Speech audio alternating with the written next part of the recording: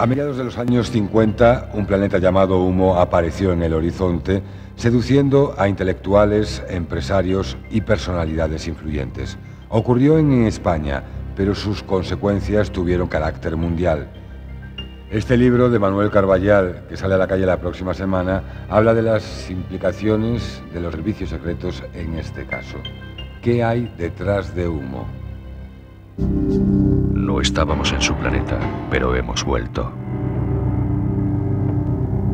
Hace 28 años yo recibí una carta de los humitas en la que me decían, en la que me decían, hemos puesto en su casa o vamos a poner en su casa un, uno de nuestros microelementos de control de imagen y sonido para que nos eh, podamos enterar de lo que ocurre en su reducido entorno, porque es para nosotros muy interesante un ejemplo de cómo vive una familia en, un, país de un planeta que es ajeno al nuestro.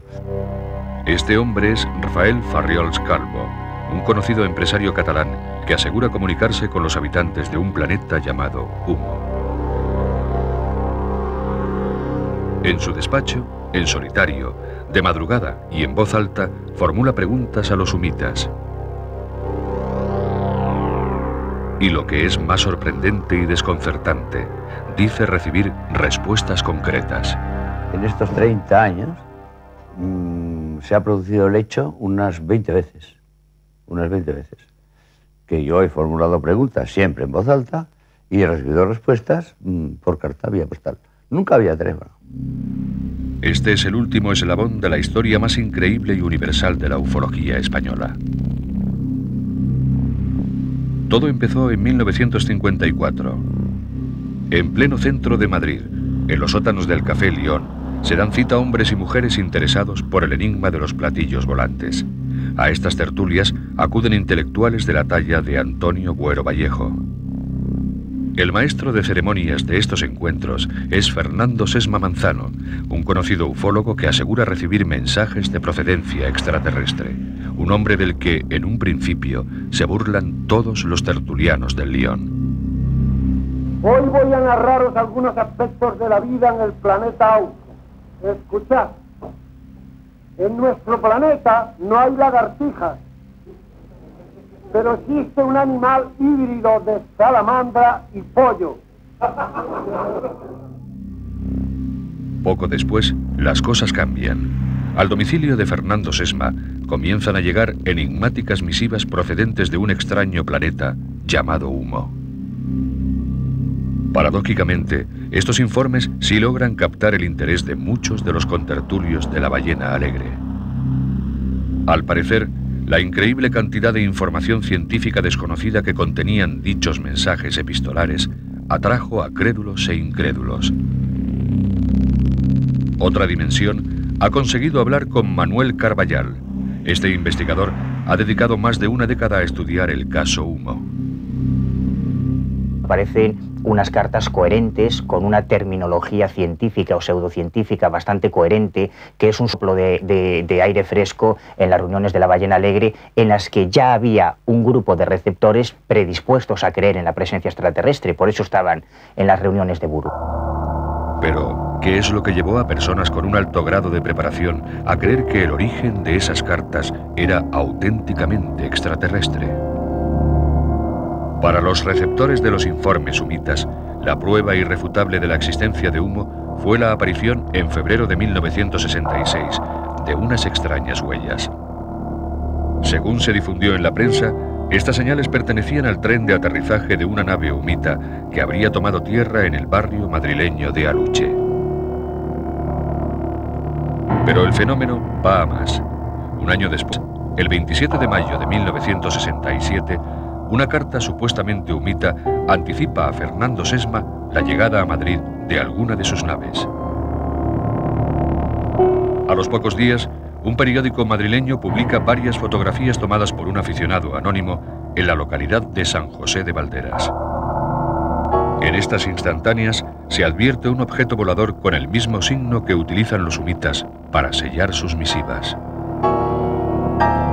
caso de San José de Valderas es el punto culminante de esta historia, cuando ya hay fotografías de las naves, cuando ya hay materiales dejados por los supuestos extraterrestres y a partir de ahí, eh, digamos que las evidencias van descendiendo en cuanto a espectacularidad. Después del caso Valderas no hay ninguna otra manifestación parecida, pero sí eh, se ha conseguido ya la fe. Con tal cantidad de pruebas, pocos aficionados a los ovnis se cuestionaron seriamente la autenticidad de estos avistamientos. Es más, en 1968, el prestigioso investigador Antonio Rivera publicaba junto al empresario catalán Rafael Farriols un libro titulado Un caso perfecto, en el que analizaban el fenómeno de San José de Valderas. Desde ese momento, la historia de los humitas se divulgó por todo el mundo. La repercusión mayor se vivió en otros países probablemente porque era mucho más difícil contrastar la información y parecía que el origen de los sumitas era irrefutablemente extraterrestre. Y así se crearon en Japón asociaciones de seguidores de los sumitas, hermandades de humo en Italia, hermandades de humo en Bolivia, en Argentina llegó a construirse un hospital con medicina humita, en Francia se crearon distintas sectas y grupúsculos que seguían a humo, por lo tanto la repercusión sociológica probablemente sea la mayor moraleja que nos deja la historia de los humitas. Durante más de 30 años y hasta 1993, un reducido grupo de personas ha seguido recibiendo informes y cartas humitas, y algunos de ellos aseguran incluso haber hablado por teléfono con estos extraterrestres. Suplicamos perdón. Sí. Suplicamos perdón. Sí. Señor. Sí, solicitan perdón.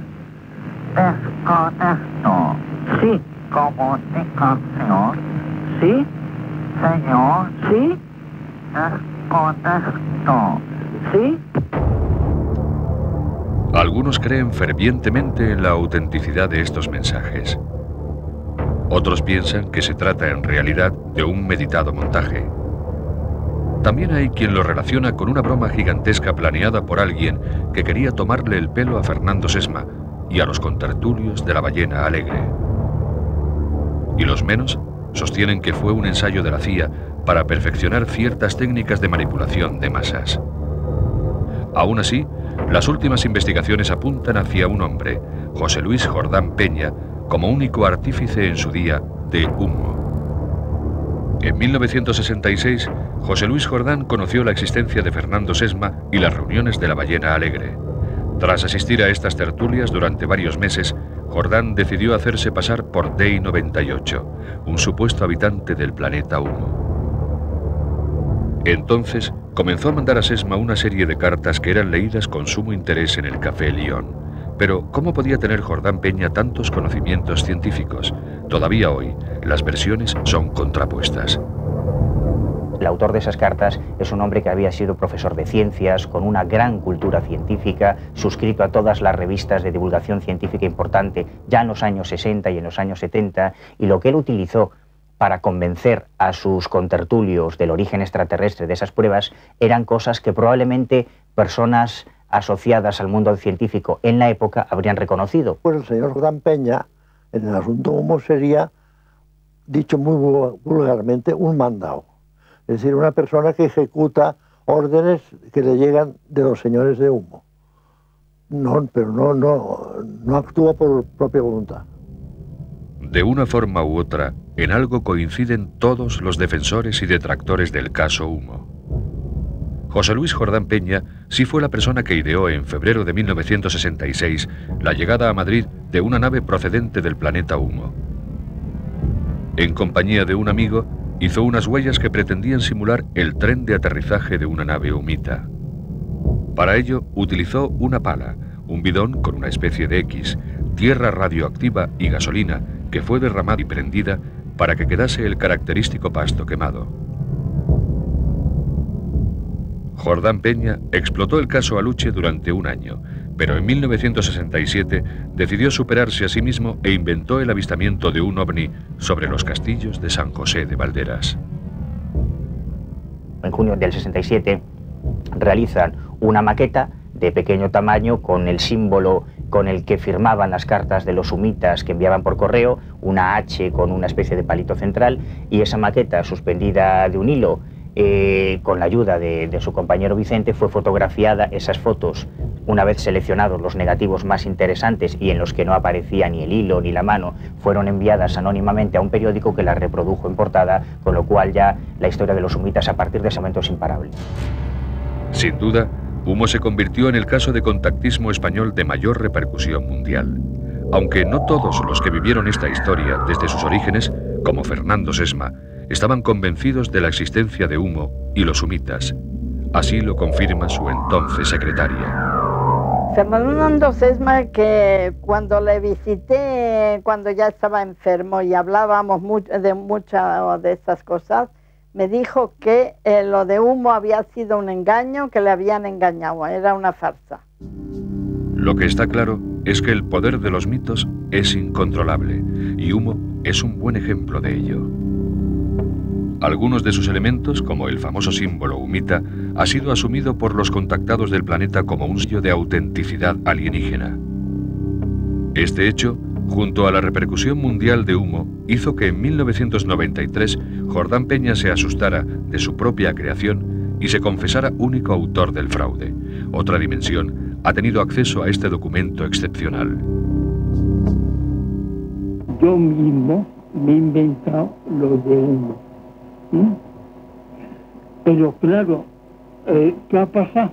Algunos miembros han formado Mm, eh, una cesta peligrosa. Ese experimento eh, se me dio de las manos. Fue un fallo, un fallo mío. Sectas peligrosas como los amigos de los hermanos de humo han utilizado las fotos de San José de Valderas, los informes y el símbolo humita para crear sus propios grupos de culto.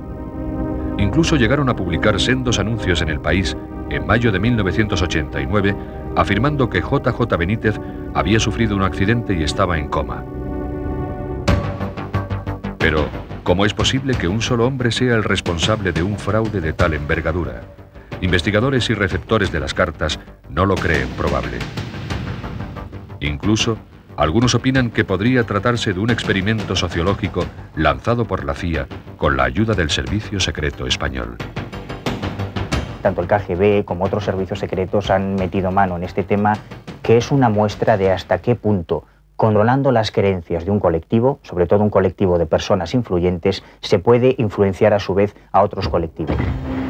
Experimento o no, el silencio absoluto ha dominado el caso Humo en los últimos cinco años. Desde agosto de 1996, Rafael Farriols no ha recibido ninguna otra carta de procedencia humita. Aún así, confía en que el contacto con estos seres, que han marcado casi la mitad de su existencia, se reanude pronto. En otras ocasiones, en estos 30 años de comunicación con los humitas, han habido periodos de silencio similares. Lo que pasa es que en cualquier momento podemos recibir una carta humita diciéndome, bueno, es que no estábamos en su planeta, pero ya hemos vuelto, o sea, como, como decíamos ayer, ¿no? Fraude, experimento extraplanetario, manipulación de masas, nada puede ser probado ni negado. Lo único cierto es que Humo se ha convertido en un caso apasionante, en un rompecabezas infinito y perfecto, en uno de los misterios ufológicos más universales e impenetrables del siglo XX.